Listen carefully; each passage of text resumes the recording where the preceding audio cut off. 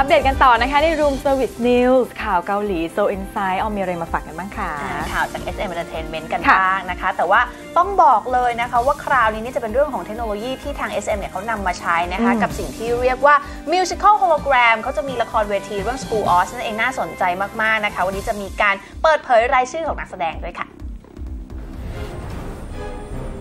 SM Entertainment นอกจากจะเป็นค่ายเพลงที่ปั้นศิลปินชื่อดังแห่งเกาหลีใต้ที่ทุกคนรู้จักกันดีแล้วนะคะ ตอนนี้ทาง SM ยังได้พัฒนาขึ้นไปอีกระดับ ด้วยการเปิดตัวนะคะ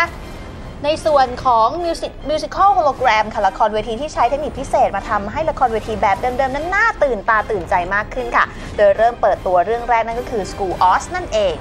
โดยเรื่อง School Oz นะคะ เป็นละครเวทีมิวสิควลที่ดัดแปลงมาจากเรื่อง The Wizard of Oz ค่ะ ซึ่งเป็นเรื่องราวการผจญภัยออกตามหาโดโรธีในดินแดนออสให้ทันก่อนการแข่งขัน Great Night Championship ค่ะ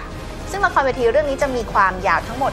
110 นาทีนำแสดงโดยศิลปินชื่อดังของ SM ค่ะ อย่างเช่นชางมินจากดงบังชินกิลูน่าจาก FX คีจาก SHINee ซูโฮและซิวหมินจาก EXO ซึลกิจาก girl group น้องใหม่อย่าง Red Velvet และนอกจากนี้นะคะยังมียุนอาจาก Girls' Generation แล้วก็อีทึกจาก Super Junior มาเป็นแขกรับเชิญพิเศษอีกด้วยล่ะค่ะ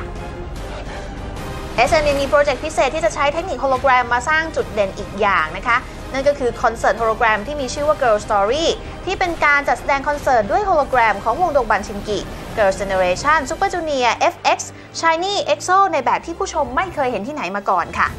ซึ่งงานแสดงโฮโลแกรมทั้ง 2 โปรเจกต์นี้จะจัดแสดงพร้อมกันในวันที่ 14 มกราคมนี้ที่ SM Town Theater ใน SM Town COEX Atrium ค่ะ ซึ่งตอนนี้นะคะได้มีการเปิดจองบัตรเป็นที่เรียบร้อยแล้วด้วย แต่แฟนๆ ก็บ่นกันไม่น้อยเลยว่าทำไมต้องมาจัดวันเดียวกัน เพราะว่าต้องทำให้ไปเลือกชมงานเพียงแค่งานเดียวเท่านั้นค่ะ